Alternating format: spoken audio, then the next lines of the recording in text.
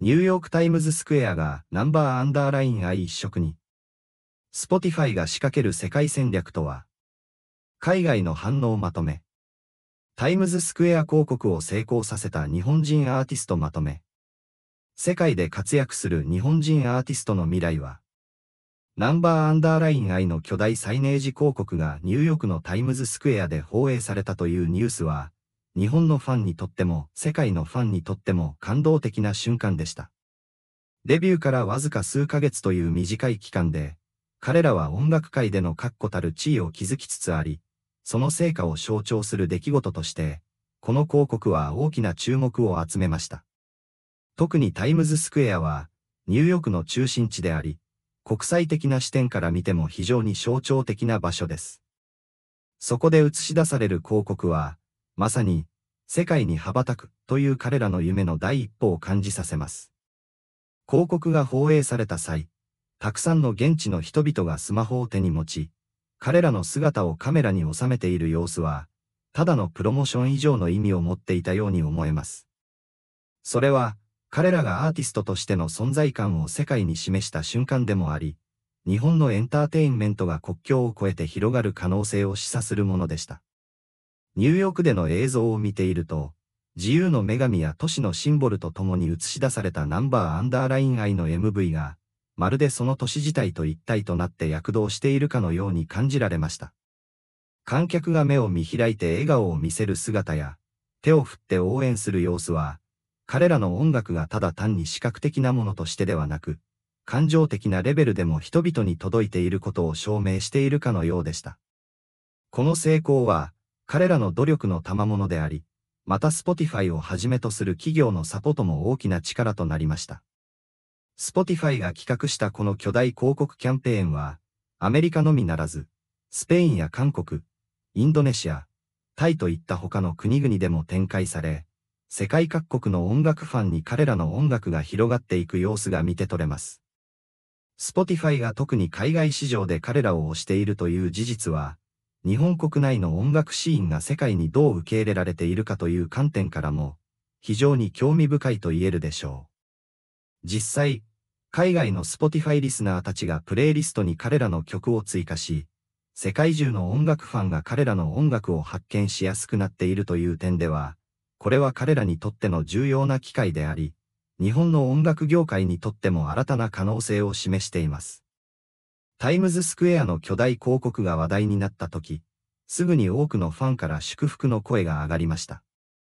世界での活躍おめでとうというメッセージは、彼らが日本だけでなく、グローバルな視野で活動を広げていく姿に期待を寄せるものです。特に、日本のエンターテインメントが海外で注目されるのは、昨今の国際的な文化交流が進む中で非常に意味のあることです。彼らの成功は、他の日本のアーティストにもインスピレーションを与え、さらなる挑戦を促すことでしょう。しかし、成功の裏には多くの困難もあったことでしょう。ナンバーアンダーライン I のメンバーは、かつて大手事務所に所属していましたが、自らの夢を追いかけるためにその事務所を辞めるという決断をしました。これには相当な勇気が必要だったことは想像に難くありません。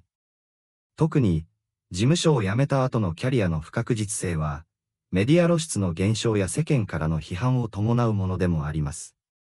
それでも彼らは諦めず、自分たちの音楽を信じ、ファンと共に新しい道を切り開いてきました。その結果として、ニューヨークのタイムズスクエアに自分たちの MV が映し出されるという偉業を達成したのです。ファンの間では、この成功を喜ぶ声と同時に、今後の挑戦に対する期待も高まっています。まだまだ道のりは長く、これからが本当の試練であることは誰もが感じているでしょう。特に、海外での活動を本格化させるには、多くの壁が立ちはだかることが予想されます。言語の壁、文化の違い、そして市場の競争の激しさは、彼らがこれから直面するであろう課題の一部です。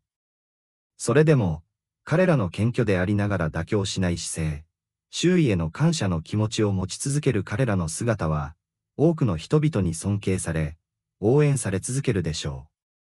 これからも彼らが一歩一歩成長していく姿を見守りたいというファンの声は、まさにその証拠です。彼らの活動は、日本国内でも大きな話題となっています。渋谷の街がジャックされるかのように、彼らの広告がたびたび表示されることも驚きの一つですが、今回のニューヨークでのキャンペーンは、さらにスケールが違うものでした。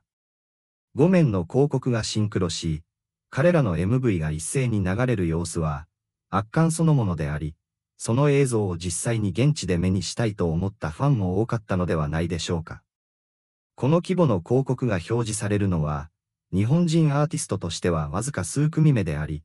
彼らの快挙は日本のエンターテインメント界にとっても誇らしい出来事です。しかし、この成功にもかかわらず、日本国内のメディアでは彼らの活動に対して批判的な報道が見られることも事実です。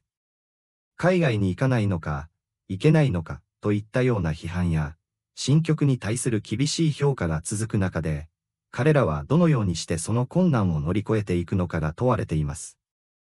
彼らの活動が急激に進展している一方で、日本のエンターテインメント業界の一部はまだ彼らを完全に受け入れていないという現実があります。それでも、彼らはこれまで一歩一歩着実に階段を登ってきました。彼らの楽曲が海外でも評価され、MV が広く視聴されるようになった現在、彼らの歩みは日本国内外のファンにとってもますます興味深いものとなっているのです。さらに、ファンの間ではライブチケットの転売問題が浮上しており、人気が高まるにつれてこの問題が深刻化しているという懸念もあります。転売によってチケット価格が高騰し、本来のファンがライブに参加できなくなるという事態は、音楽業界全体にとっても大きな課題です。この問題に対して、事務所がどのように対応していくのかも注目されています。